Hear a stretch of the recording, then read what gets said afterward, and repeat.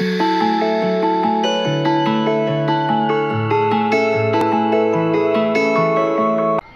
friends welcome to my YouTube channel आप देख रहे हो वाई ब्लॉग्स तो आज है संडे तो अभी बज रहे दोपहर के साढ़े बारह आज है सत्रह अक्टूबर। तो आज मैं जा रहा हूँ गायमुख गायमुख चौपाटी जो कि है थाने में ही। मैं अपने नेफ्यू के साथ आज जा रहा हूँ। ये एक छोटा सा राइड है। बार बारिश नहीं हो रही है इसलिए इतने दिन बाद बाइक निकाला हूँ। दस पंद्रह किलोमीटर की राइड है। तो रिटर्न आ जाएँगे थर्टी किलोमीटर कुछ ऐसा है। तो फ़र्स्ट टाइम जा रहा हूँ मैं आज गायमुख राइड पे। तो चलिए चलते हैं आपको मोटो ब्लॉगिंग सेटअप पे। तो अभी मैं निकल रहा हूँ गायमुख चौपाटी के लिए। तो यहाँ से कुछ तेरह किलोमीटर का रास्ता है गायमुख चौपाटी थाने से। तो टोटल हमारा कुछ तीस किलोमीटर तक हो जाएगा। सिर्फ़ अभी एक, सिर्फ़ एक शॉर्ट स्पिन लेके आना है, बस। आज का कुछ ऐसा कुछ लॉन्ग डिस्टेंस का ट्रैवलिंग का कुछ प्लान नहीं है। मेरे बैग पे क्रैम्प आया है। तो इसके लिए मुझे ज़्यादा ट्रैवलिंग करना नहीं है आज। वरना इगतपुरी का प्लान था तो मे बी हम लोग ने वो नेक्स्ट वीकेंड के लिए पोस्टपोन कर दिए। तो टोटल कुछ मेरे बाइक का ओवरऑल किलोमीटर हो गया है one six nine nine kilometre हो गया है। तो मैंने बाइक को ज़्यादा चलाया नहीं है। कल ही मैंने फ्यूल अप किया कुछ अराउंड छः सौ रुपये का, तभी फ्यूल है तो फ्यूल भरने का ज़रूरत नहीं है। तो चलिए राइड स्टार्ट करते हैं।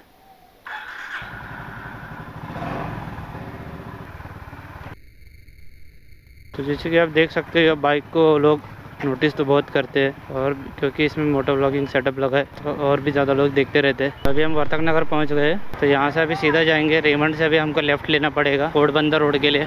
आज संडे है तो रास्ते में ट्रैफ़िक भी बहुत है। ये जो लंबा ब्रिज है डायरेक्टली वर्तक नगर से ये मानपाड़ा तक निकलता है। ये बेस्ट है मोस्टली सिटी ट्रैफ़िक से आप बच जाते हो। अभी हम ब्रह्मांड पहुँच गए। तो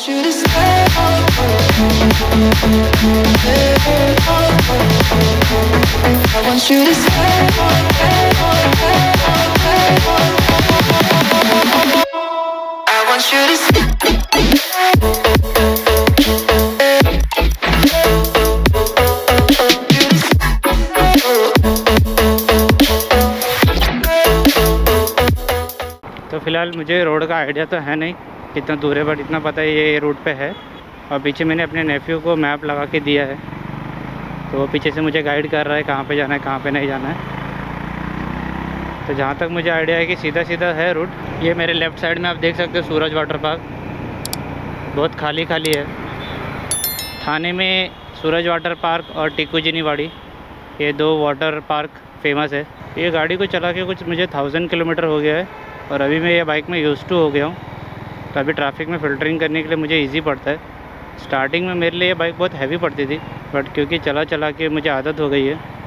एक्चुअली मेरे पास इसके अलावा स्कूटी भी है तो सबको आपको पता है स्कूटी कितना ईजी होता है ट्रैफ़िक में या सिटी में फ़िल्टर करने का।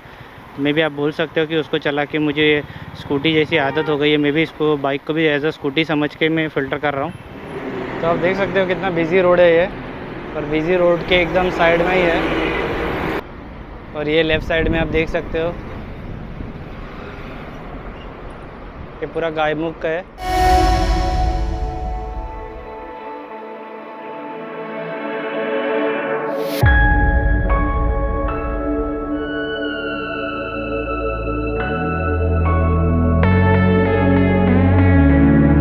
तो जैसे कि आप देख सकते हो, यहाँ पे थाने का फ़र्स्ट फ्लोटिंग रेस्टोरेंट है मिनी क्रूज़ जैसा। यहाँ पे एक बोट है, जो आपको क्रूज़ का फीलिंग देगा। तो वो एकदम वो एकदम पानी के बीच में है। यहाँ से दिख नहीं रहा होगा। यहाँ पे गेट बंद है। अभी क्योंकि हमको अंदर जाने नहीं दे रहे तो हम बता नहीं सकते। तो प्लान तो कुछ है नहीं, यहाँ पे सिर्फ़ एक शॉर्ट राइड के लिए आए थे।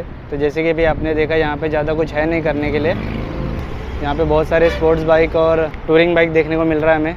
अभी यहाँ पे थोड़ा हम चिल करेंगे, थोड़ा आजू बाजू में स्नैक्स काउंटर दिख रहे हैं, थोड़ा हम स्नैक्स खाएँगे और यहाँ से निकलेंगे। और आप देख सकते हो कितना धूप पड़ रहा है, इसलिए मैंने अभी शेड्स पहन लिया है।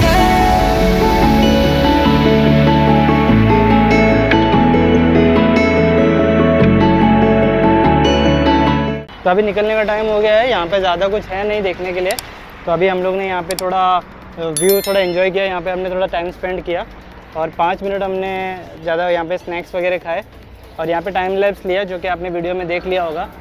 तो अभी हम, अभी इस वीडियो को एंड करने का टाइम हो गया है। तो अभी हम यहाँ से निकलते हैं अपने घर के लिए। रूट सेम है सेम रूट से जा रहे हैं, ज़्यादा कुछ दूर नहीं है हमारा घर। अगर आप मेरे चैनल में नए हो तो चैनल को सब्सक्राइब ज़रूर करके रखना। अगर मेरा वीडियो पसंद आया तो इस मेरे वीडियो को लाइक ज़रूर करना। तो मिलते हैं आपसे अगले वीडियो में। तब तक के लिए safe riding happy biking bye bye